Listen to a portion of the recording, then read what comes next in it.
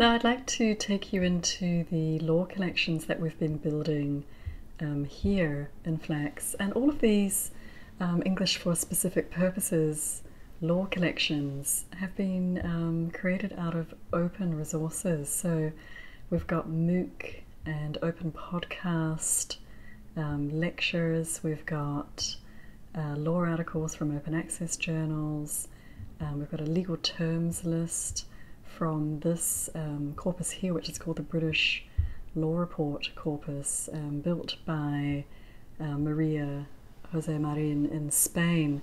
She derived this 8.85 million word legal corpus out of free and openly accessible government documents from the British court systems um, based on judicial decisions across different constituencies. So, this is just giving you an idea of um, the types of things that you can build into FLAX using a lot of free and open resources.